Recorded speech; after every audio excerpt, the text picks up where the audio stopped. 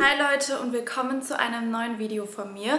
Heute gibt es einen Styling Haul und zwar mit meinen absoluten Herbst-Must-Haves. Also das sind wirklich Basic Pieces, die du ein bisschen brauchst in deinem Kleiderschrank, um so eine Overall Capsule Collection zu erstellen. Ich bin selber noch kein Pro, ich taste mich immer noch so ein bisschen mehr an Unique Basic Pieces, basically. Ganz viel Englisch. Wen, das stört, schalte jetzt schon mal ab, denn ähm, Englisch ist meine Sprache und ich kann nicht ohne. Also, ich zeige euch Pieces, die ihr braucht, die wirklich wichtig sind, um ein Outfit zu erstellen, die du immer miteinander kombinieren kannst und mal auswechseln kannst und das ist immer klassisch und immer zeitlos ist. Ich werde alles unten verlinken, plus Alternativen. Es wird in diesem Video ganz viele Inspos geben von Pinterest-Bildern, die so ähnlich gestylt sind. Und ja, ich werde jetzt jedes einzelne Teil mit euch durchgehen und dann Outfits in ähm, das Video reinschneiden. Einschneiden, reinschneiden. Okay, let's start. If you got it bad, like I got it bad for you.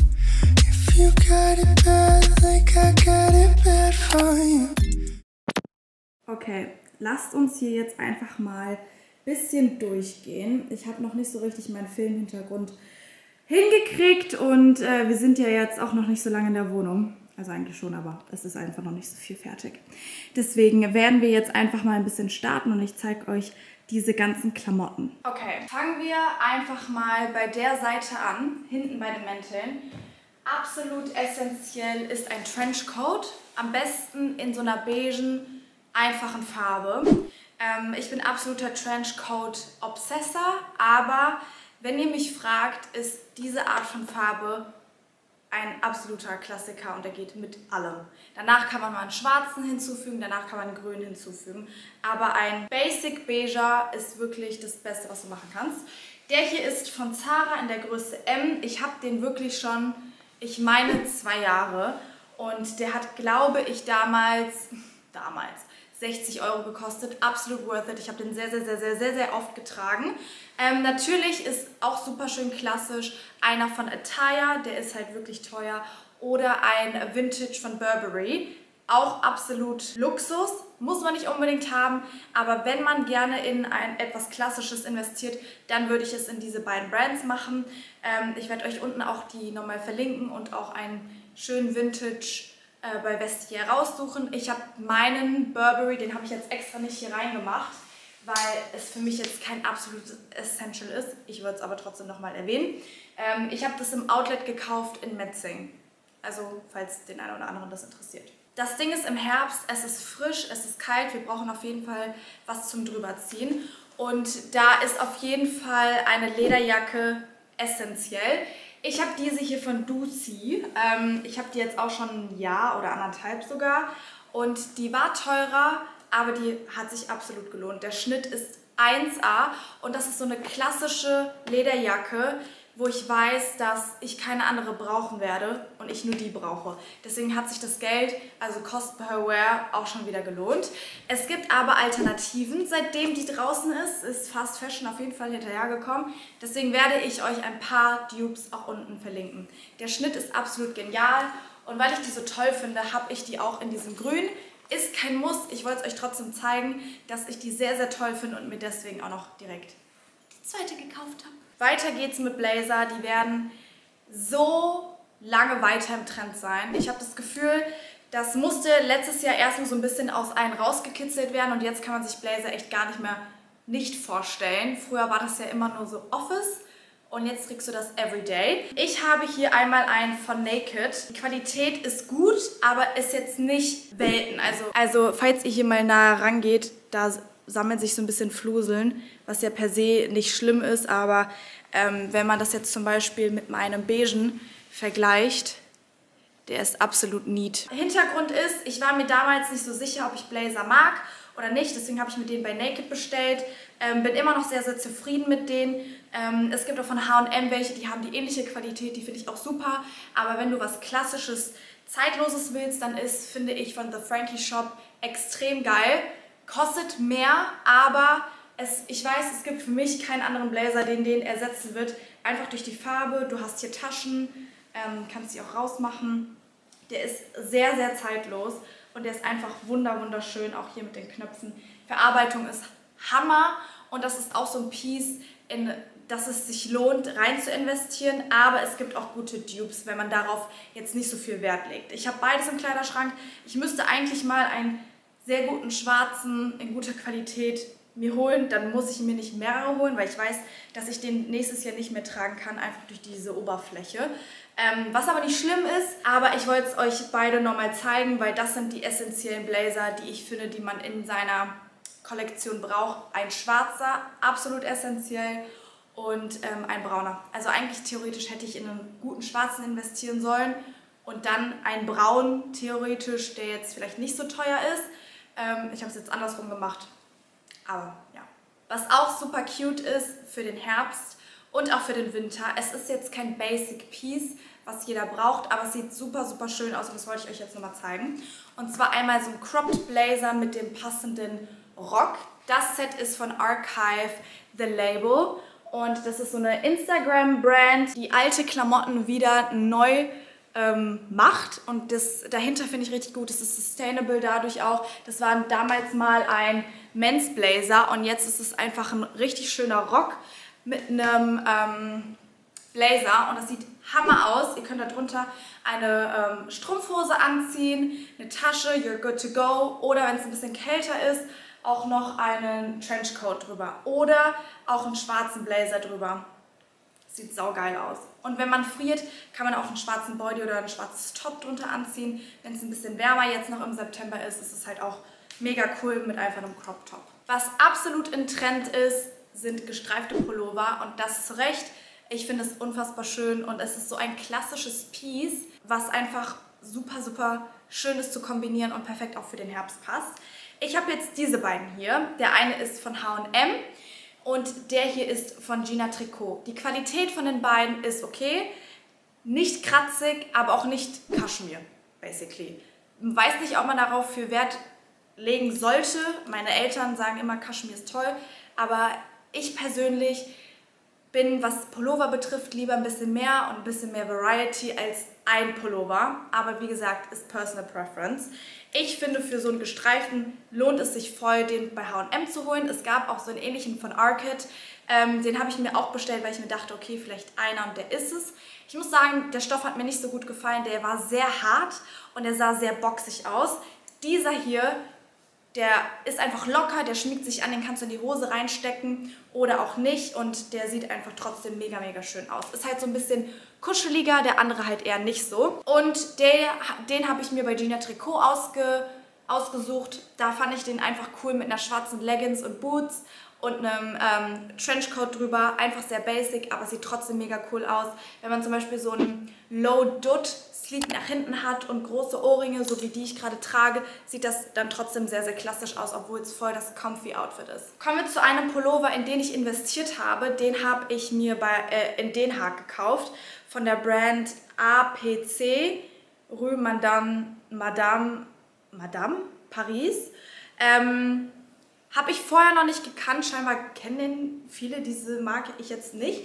Aber ich fand die Qualität von diesem Pullover so extrem geil, dass ich ähm, mir überlegt habe, ich investiere in so einen klassischen Off-White Pullover. Weil was ich an dem so toll finde ist, man kann den halt richtig cool ähm, über die Schulter auch tragen, ohne dass der so komisch sitzt oder liegt oder das komisch aussieht. Moment, ich muss jetzt mal meine Haare wegmachen. So würde das jetzt basically aussehen. Und das hatte ich kombiniert mit einem Trenchcoat drüber. Das sah so cool aus. Und es hält halt warm und der sieht auch mega schön getragen aus.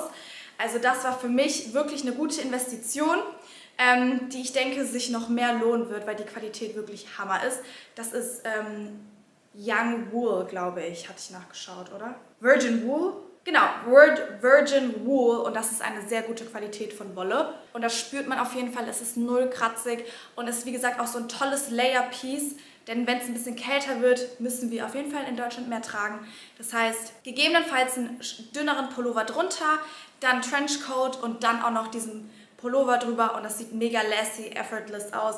Und ich habe den in Größe L bestellt, damit der nochmal extra größer sitzt. Weil das Ding ist, wenn ihr die Pullover zu kurz kauft, ähm, dann gehen die nur bis hier hinten und dann sieht das mega weird aus. Auch was ich finde, ein Essential Piece ist ein Rollkragenpullover. Das hier ist einer von Marlo. Den habe ich, ähm, das ist Kaschmir. Ich habe den mir bei Best Secret gekauft für, ich glaube, 60 Euro oder so. Also das war voll der Bargain. Also guckt gerne auch mal auf solchen ähm, Webseiten, weil da findet man echt geile Kaschmir-Deals. Das Grau fand ich sehr zeitlos. Ich fand das extrem schön mit einem Rock reingesteckt oder mit einer Jeans reingesteckt. Und das ist auch so eine basic graue Farbe, die immer geht. Also ähm, sei es so ein Pullover in diesem Grau, wäre auch ein absoluter Hit gewesen. Sorry Leute, was auch essentiell ist, sind Anzugshosen. Ich habe jetzt diese hier von Naked. Ich finde die sehr, sehr gut. Die Quali hält nicht ewig, also hier ziehen sich bei mir schon die Fäden, aber ich habe die wirklich oft an und das ist diese hier. Die ist sehr, sehr basic, aber wenn ihr seht, ah ja, hier, das ist halt ein bisschen Pass. Aber sonst für den Preis von dem Fit finde ich die sehr, sehr geil. Dann habe ich hier dieses Kleid und vielleicht erkennt der ein oder andere dieses Kleid schon, denn das ist ein 99 Sample. Und zwar ist das so ein Singlet, ganz, ganz glattes Kleid in einem ganz, ganz angenehmen Stoff die so ein bisschen Shapewear ist. Und klar, wir sind im Herbst, aber sowas sieht sehr geil aus. Mit einer Strumpfhose und Overknee Boots oder Strumpfhose mit Loafers und einem Blazer drüber. Sieht sehr, sehr geil aus. Und deswegen ist das bei mir einfach auch drinne als Basic Piece. Was auch sehr, sehr cool ist, sind diese Anzugswesten. Ich finde die richtig cool. Ähm, vor allem, wenn man die einfach als Top trägt und dann ein Blazer drüber. Das ist natürlich jetzt für Everyday eher so ein bisschen semi, weil es ja schon ein bisschen nackig ist. Aber vom Vibe finde ich die halt auch voll cool, wenn man ein langärmeliges Oberteil drüber anhat oder sowas und dann den Blazer drüber. Es gibt in dem Outfit einfach so ein bisschen mehr Edge. Und da gibt es richtig viele zurzeit äh, auf ASOS, bei Zara, bei Mango, aber auch teurer wie bei The Frankie Shop und so. Ich werde euch da beide Alternativen einfach mal unten verlinken, da könnt ihr euch mal durchstöbern. Hier haben wir so ein klassisches Zara-Piece, ähm, wo die Qualität halt einfach so ein bisschen hapert. Also der Stoff, wenn ihr euch mal die beiden Westen vergleicht, die sind natürlich ein bisschen unterschiedlich, aber ich habe das Ding jetzt dreimal gesteamt und die sind leider einfach immer noch so zerknittert. Trotzdem finde ich das Set richtig schön, vor allem in der Kombi mit der Hose. Die Hose sitzt richtig gut, die habe ich in der S und diese Weste in der M. Und wie gesagt, mit einem Blazer drüber finde ich das auch sehr, sehr cool für diese leichte Wärme, die wir noch haben in dieser Übergangszeit. Die Outfits, die ich euch zeige, sind basically noch für End of Sommer, Anfang Herbst bis Mitte Herbst. Was danach ist, ist es wahrscheinlich zu kalt und zu regnerisch. Aber gerade so die Übergangszeit brauche ich selber immer voll viel Inspo, weil ich nie weiß, was ich anziehen soll. So, dann kommen wir basically zu Basic Tops. Da habe ich eine große Auswahl an verschiedenen Tops, die aber Basics sind, die man braucht. Einmal ein gestreiftes T-Shirt, das hier ist jetzt von Zara. Finde ich absolut genial, wenn man das mit einer Lederjacke kombiniert und einer weißen Leggings. Äh, einer schwarzen Leggings, bitte keine weiße Leggings, bitte keine weiße Leggings. Ein gestreiftes T-Shirt mit einer Jeans oder mit einem Rock und einer Strumpfhose und darüber ein Blazer. Saugeil. Dasselbe auch mit einem schwarzen T-Shirt ist auch wichtig. Das habe ich jetzt auch hier von Zara. Ich lege halt nicht ganz so viel Wert auf meine Basic-T-Shirts, weil die sich bei mir meistens verfärben und es sich da für mich nicht lohnt, da Geld so rein zu investieren. Wenn du da besser bist, lohnt sich auf jeden Fall auch ein gutes schwarzes T-Shirt zu haben. Oder du bist so wie ich, I don't know. Und dann habe ich hier noch so ein ähm, weißes Crop Top, auch von Zara, auch super essentiell. Oder auch so ein weißes Singlet Top, das hier habe ich jetzt von Brandy Melville, glaube ich. Aber das ähm, kriegt man sonst überall. Und dann habe ich hier, weil ich finde, das sieht extrem schön auch einfach aus, ähm, unter Outfits. Das ist so ein Bandeau-Top. Das ist von Sisterhood in der Größe S. Und das finde ich richtig schön, auch über einen Blazer mit einem Rock oder mit einer Lederhose oder sowas. Und diese schwarz-weiß Kombination schreien Chanel und es ist super, es sieht super teuer aus. Und deswegen feiere ich das sehr. Achso, und ich feiere es auch, weil die Qualität toll ist, nicht nur, weil es teuer aussieht. Und der Schnitt ist toll. Machen wir weiter mit Hemden. Wenn ihr mich fragt, ist ein absolutes Must-Have, ein weißes Hemd. Ich habe das hier von DJF Avenue und ich muss sagen, ich habe viele weiße Hemden. Ich habe welche von Zara, ich habe welche von Naked, ich habe welche von H&M, aber mir fehlt ein richtig gutes weißes normales Hemd, kein Leinenhemd, kein Crinkle Waffle Hemd, ein weißes Basic Hemd. Und jetzt bin ich wirklich, ich habe fünf weiße Hemden. Die einen sind zu lang, die anderen sind zu kurz. Das hier ist perfekt, das hier ist von DJF Avenue und ich weiß, es ist teurer, aber es lohnt sich in so ein Piece zu investieren, weil das willst du nicht missen. Und das hier ist dieses Weiße. Das hat hier hinten auch nochmal so einen Schlitz, hat eine tolle äh, Baumwollqualität. Ich habe es jetzt in Größe M. Hier so eine, ähm, so eine Tasche. Lieb's, wirklich sehr. Ich habe dasselbe Oberteil jetzt hier auch in gestreift an. Das hatte ich mir zuerst gekauft und da hat mir die Qualität sehr, sehr gut gefallen, dass ich dann gesagt habe, Alter, mir fehlt so ein gutes weißes Hemd, was ich mal mit einem Blazer anziehen kann, was ich mit über einen Rock anziehe, ohne dass ich so, eine riesen, so ein riesen weißes Zelt habe. Und ich bereue den Einkauf überhaupt nicht und kann es euch deswegen empfehlen. Ansonsten verlinke ich euch meine Alternativen, die ich auch im Kleiderschrank habe. Und da kommen wir jetzt auch zu gestreiften. Das hier ist, finde ich, ein Dupe zu diesem hier. Das hier ist von DJF Avenue, das ist von H&M und ich finde das richtig gut. Ich habe das in Kombination mit dieser Hose. Dadurch, dass wir jetzt im Herbst sind, ist das für mich auch so eine Art Pyjama. Die verkaufen das auch als Pyjama. Ich habe das im Sommer, vor allem die Hose, rauf und runter auch daily getragen auf der Straße mit einem süßen weißen Top und Yeezy Slides. Sau, sau cute mit der Sunny und dann I don't give a fuck Mood. Jetzt im Herbst finde ich das trotzdem sehr, sehr süß mit einem Trenchcoat drüber und Mini-Axe mit denen hier zusammen. Klar, es schreit so ein bisschen Schlafanzug, aber ich finde den Vibe sehr, sehr cool und einfach auch effortless und ja, heutzutage kannst du eigentlich alles auf der Straße anziehen. Personal Preference, aber ich finde das sehr, sehr cute. Und wenn du deine Kapselkollektion ein bisschen aufstocken willst, ist dieses Hemd halt super cool, weil das so ein schönes Khaki-Beige ist und auch sehr gut mit Jeans aussieht, sehr gut mit Schwarz aussieht und auch mit Röcken oder so einfach ein tolles Hemd ist. Das ist von Naked in der Größe 38. Dazu gab es übrigens auch eine Hose, die würde ich jetzt nicht unbedingt im ähm, Herbst anziehen, weil meine ist 40, die ist super low waist und passt auf eure Nieren auf. Dann habe ich hier noch so einen richtigen oversized blauen Sweater von Brandy Melville. Der war jetzt nicht so teuer, was auch jetzt nicht schlecht oder besser ist oder so. Ähm, ich finde die Qualität von dem gut. Und ich finde, man braucht nicht unbedingt immer diesen wärmsten und den, den angenehmsten Pulli. Der kratzt nicht, der sieht gut aus, der ist lässig. Und was ich eigentlich sagen wollte, blau wird diesen Herbst auch ein Must. Also so ein dunkelblau ist super schön klassisch und ähm, zeitlos.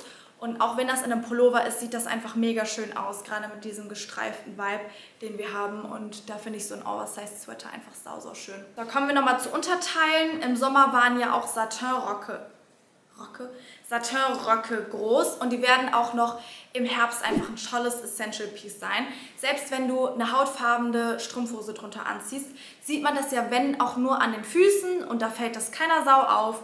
Ähm, mit Loafers drüber, dem Rollkragenpullover zum Beispiel.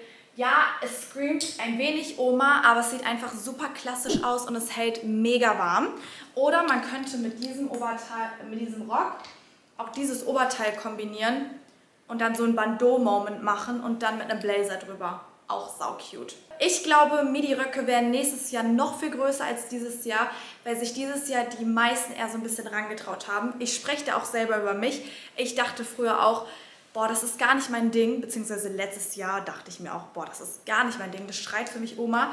Aber jetzt schreit es für mich klassisch, es schreit für mich schön und äh, ich habe jetzt hier diesen von Mango in der Größe S und ich finde die Qualität sehr, sehr gut. Werde ich euch auch verlinken. Dann habe ich hier diesen schwarzen Basic Rock mit Schlitz.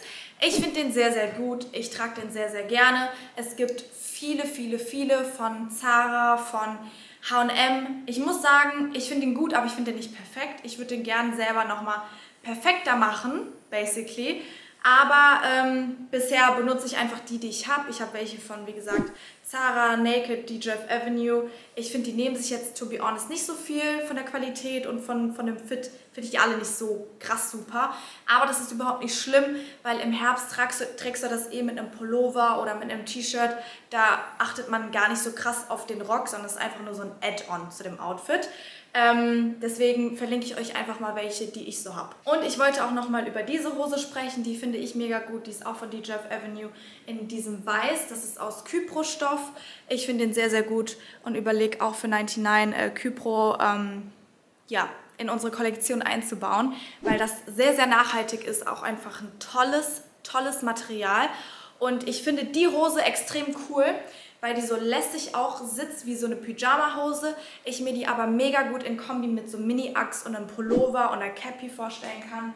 Wie zum Beispiel mit der hier. Deswegen wollte ich die einfach nochmal kurz erwähnen. Genau, kommen wir zu Accessoires, bevor wir zu Schuhen kommen. Ich bin ein Fan von Cappies. Ich finde, die sieht extrem cool aus.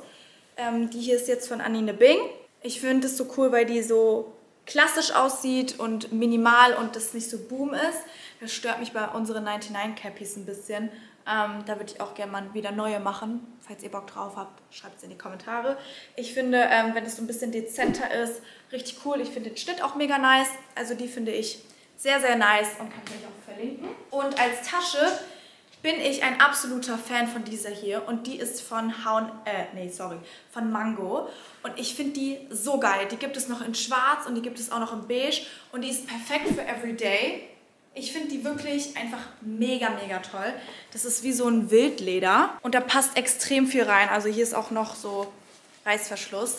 Absolutes, absolutes Must-Have in meinen Augen. Also auch mit dem Outfit drüber für die Uni, für die Schule. Ich überlege die mir jetzt auch nochmal in schwarz und in ähm, diesem beige zu holen, weil die einfach saugeil ist. Ich finde die saugeil. Ähm, und die hat nur 40 oder 50 Euro gekostet. Also auch super günstig dafür, dass man die zu so viel anziehen kann. Und ich bin wirklich ein harter Fan von der. Ich habe ja auch diese weiße Tasche von Naked mit diesem Bouclé-Stoff. Die gibt es ja nicht mehr, aber dafür gibt es jetzt, finde ich, eine ähnliche Tasche, nur von der Größe sogar noch besser, weil die von Naked ist sehr, sehr groß. Und die ist groß, da passt mein Laptop sogar rein, auch noch der ganze Schabums. Ähm, absolutes Love it, wirklich. Habe manchmal überlegt, ob ich mir diese große Bottega holen soll, aber das hat es für mich ersetzt. Love it so much. So, now we're talking about Cowboy Boots. Und die einen lieben es und die anderen hassen es. Und let me tell you, it grow, grew on me, it growed on me. Wie auch immer. Ich feiere die. Ich finde, die richtige Kombi macht's und ich finde, die richtige Confidence macht's. Ich habe mir so krass den Kopf zerbrochen. Sind meine Beine zu kurz? Sind meine Beine zu stämmig? Bla bla bla. Ich habe dieses Paar hier von Massimo Dutti mir gekauft, weil ich basically keine anderen gefunden habe. Und sobald ich die angezogen hatte und die Tags abgemacht habe, habe ich welche bei Mango gefunden, die ich auch sehr, sehr geil finde. Also die hier sind von Massimo Dutti, die haben hier halt dieses krasse Cowboy drauf. Das muss man mögen, auch diesen Lack muss man mögen. Ich finde die Qualität, der Fit, das Bequemsein extrem gut. Also ich hatte die in Berlin rauf und runter an, hatte den ganzen Tag Meetings, also wirklich von A nach B gelaufen und ganz viel gemacht und das war super bequem. Also highly recommend, wenn man mal in so ein Paar rein investieren möchte. Da muss man aber auch diesen Stil mögen. Ansonsten habe ich diese hier bei Mango gefunden. Die waren halt viel günstiger. Die sind aber auch viel plainer. Ich finde die auch vom Fit sehr, sehr schön. Die sitzen ein bisschen lockerer und ich glaube, dass das kommerzieller ist und das auch mehr Leute feiern. Also als ich die geholt habe, gab es auch nur noch wenige Größen. Also falls euch die interessiert, verlinke ich euch die. Die haben eine perfekte Länge, die sind nicht zu kurz, weil wenn die zu kurz sind und dann mitten auf der Wade enden, sieht die Wade halt Außer man hat eine sehr schlanke Wade. Also ich habe einen Wadenkomplex, sage ich auch offen und ehrlich. Und kriege da auch ab und zu den einen oder anderen Kommentar und ich bin jedes Mal so... Deswegen ist der richtige Stiefel wichtig, damit das Bein basically sehr schlank und groß aussieht. So, ja. Wir müssen tricksen mit 1,63. Ähm, und der hat auch die perfekte Länge, genauso wie Massimo Dutti. Ansonsten, wie schon erwähnt, sind Mini-Achs für mich essentiell, ähm, sei es im Herbst, aber auch im Winter. Liebe, liebe, liebe ich. Deswegen kann ich die mir nicht wegdenken oder ähm, was anderes. Die Farbe ist klassisch und die hält. Denkt nur dran, eine Nummer kleiner zu bestellen, weil die leiern aus und am Ende schlüpft ihr aus denen raus. Dann habe ich noch Loafers. Ich habe jetzt diese hier von Prada. Ihr braucht natürlich nicht die von Prada. Ich muss aber sagen, ich finde gute Loafers zu finden auch ein bisschen schwer. Ich habe da auch rumprobiert. Letztes Jahr, da waren die noch nicht ganz so groß, wie sie jetzt sind oder ganz so normal. Ähm, und deswegen habe ich mir dann die von Prada geholt, weil die auch sehr klassisch sind. Ich trage die sehr, sehr gerne. Die müssen halt nicht von Prada sein. Es gibt auch viele andere gute. Ich habe jetzt halt mich einmal entschieden, ich hole mir die und dann bleibe ich bei denen. Ähm, ich finde es halt auch cool, dass die weißes Lo äh, silbernes Logo haben. Trage ich nicht allzu oft, aber meistens so in Kombi mit einer Lederjacke finde ich die sehr, sehr cool ähm, und einfach ein klassisches Piece. Ansonsten verlinke ich euch gerne noch andere, die ich sehr, sehr schön finde. Und ein paar Sneaker, da habe ich diese hier von New Balance. Bitte judge nicht, dass die todesdreckig sind, aber ich trage die rauf und runter. Was ich so cool an denen finde, ist einmal die beige Farbe und einmal dieses Blau-Grau. Das sieht auch zusammen mit diesem Hemd mega, mega schön aus. Und ja, die kann ich sehr, sehr empfehlen. Die haben auch so ein bisschen Plateau und die sind auch nicht so overhyped wie äh, die 530 von New Balance und und und. You name it. Und manche zahlen wirklich 300 Euro für New Balance Schuhe. Kann ich nicht verstehen. Deswegen holt euch lieber die. Die gibt es auch noch in anderen Colorways. Werde ich euch auch sehr gerne unten verlinken. So Leute, ich hoffe, das Video hat euch gefallen. Ich hoffe, das Video hat euch ein bisschen Inspo gegeben in ähm, ja, die Klamotten, die ich so trage. Ich weiß, die sind jetzt nicht nur 10 Basic Pieces. Ich wollte euch so viel Information und so viel Inspo geben, wie ich nur kann. Ich hoffe, das ganze Video war informativ und hat euch inspiriert. Ich würde mich sehr, sehr über euren Support freuen. Ich kann auch gerne noch mehr Outfits machen oder nur Outfits ähm, oder euch auch mehr, wieder mehr beim Shoppen mitnehmen. Lasst es mich sehr gerne in den Kommentaren wissen und wir sehen uns in meinem nächsten Video. Mua. Bye, bye.